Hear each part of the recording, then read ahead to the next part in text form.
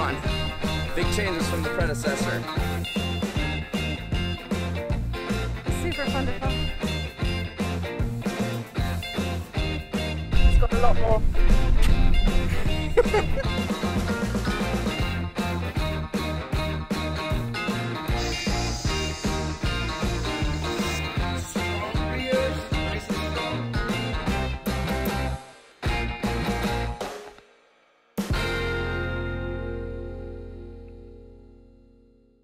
We've been thrilled with the response on the Sabre 3.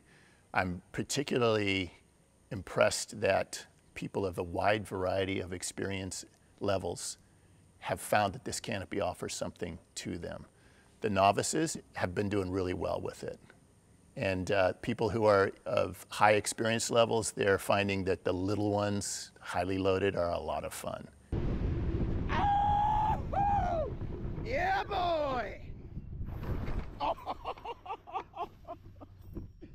So having jumped all the sabres right from the very first uh, 150, which I love, by the way, and used to swoop in the ditch here in DeLand, progression is what I would say. They're, they've each been different canopies. Still to this day, people tell me, oh, it's just a different sabre, and I'm like, actually, it's not. It's a, it really is a different feel to it. The biggest difference that I noticed between the Sabre 3 and the Sabre 2 is that I felt like the wing wanted to work more with me on the Sabre 3. The Sabre 2 was great. I started pulling fronts and started to swoop, you know, starting to do 90 degree turns on, on, a, on a Sabre 2. Um, but when I got on a Sabre 3 platform, I felt like I have more of everything.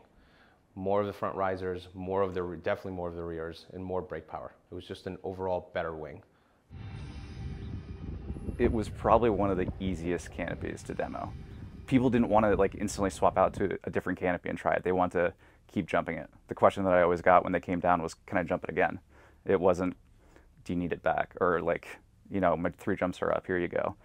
People would try and like stay away from me so that I wouldn't see them still jumping it throughout the day.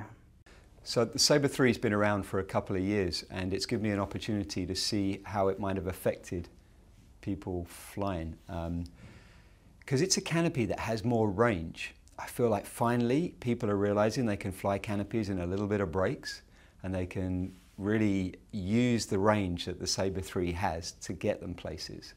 So I put about 300 jumps on the Sabre 3 last season. Um, once I progressed to the Velocity, I realized that it is a completely different animal. Um, definitely takes more skill in flight and uh, more conscious effort to fly it all the way to the ground.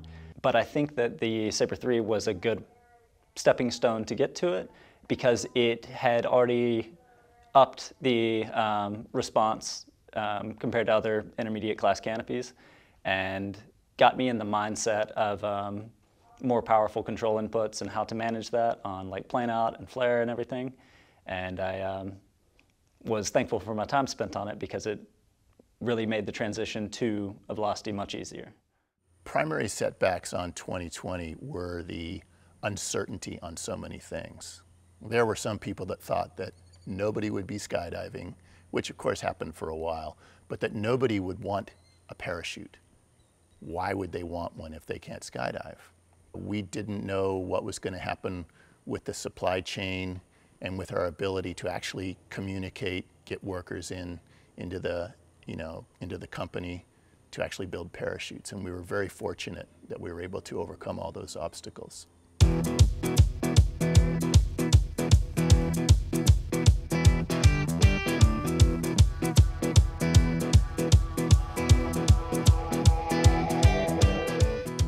Despite launching amidst a lot of uncertainty in 2020, this canopy has been a huge success for us.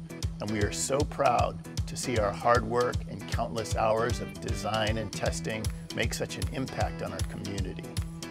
The Sabre 3 has made its way around the world through our dealership network, making thousands of skydivers very